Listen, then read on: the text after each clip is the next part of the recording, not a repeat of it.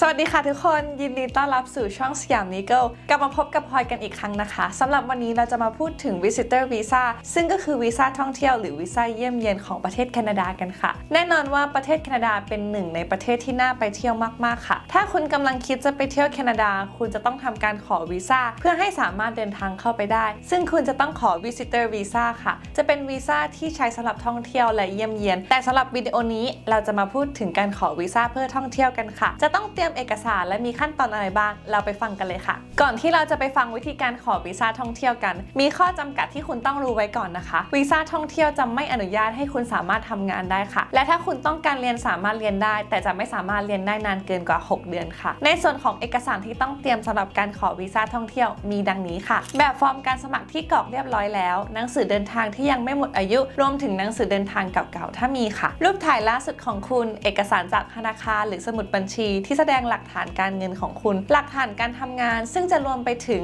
จดหมายรับรองการทำงานสลิปเงินเดือน ใบรับรองการลาพักร้อน หากคุณเป็นเจ้าของธุรกิจ จะใช้สำเนาใบทะเบียนพาณิชย์ค่ะ ถ้าเป็นนักเรียนที่อายุเกิน 6 ปี จะต้องมีจดหมายรับรองจากโรงเรียนแนบไปกับใบสมัครด้วย ส่วนเด็กที่อายุต่ำกว่า 16 ปี ต้องมีแบบฟอร์มยินยอมที่ลงลายมือชื่อ โดยคุณพ่อคุณแม่แนบไปด้วยค่ะ ทั้งนี้ทั้งนั้นเอกสารเพิ่มเติมต่างๆ ที่ต้องเตรียมจะขึ้นอยู่กับวัตถุประสงค์ของการเดินทางของคุณค่ะ หากคุณจะไปแคนาดาเพื่อธุรกิจการฝึกอบรม หรือเข้าร่วมสัมมนา คุณจะต้องแนบจดหมายเชิญที่ได้รับจากผู้จัดงานหรือบริษัทด้วยค่ะ เมื่อคุณได้รวบรวมเอกสารทั้งหมดเรียบร้อยแล้ว คุณก็สามารถยื่นใบสมัครได้เลยค่ะ ที่สถานทูตแคนาดา โดยสถานทูตจะตรวจสอบใบสมัคร และเอกสารเสริมทั้งหมด ถ้ามีเอกสารขาด หรือมีสิ่งที่ต้องการเพิ่มเติม สถานทูตจะติดต่อคุณและแจ้งให้ทราบค่ะ เช่น บางกรณีผู้สมัครอาจต้องไปสัมภาษณ์ ถ้าเป็นกรณีนั้น คุณก็จะได้รับข้อมูลเพิ่มเติมเกี่ยวกับการสัมภาษณ์จากสถานทูตค่ะ ถัดไปก็แค่รอการอนุมัติใบสมัครของคุณค่ะ ถ้าสถานทูตอนุมัติให้แล้ว พวกเขาจะประทับตาวีซ่าลงในหนังสือเดินทางของคุณ และส่งเอกสารที่คุณยื่นทั้งหมดกลับคืนให้คุณค่ะ